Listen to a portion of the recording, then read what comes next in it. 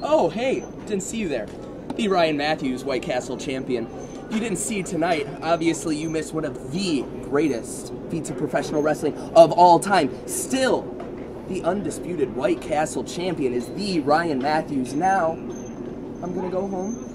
I'm gonna eat myself some sliders to continue with this gains train right here, and you'll see me next week.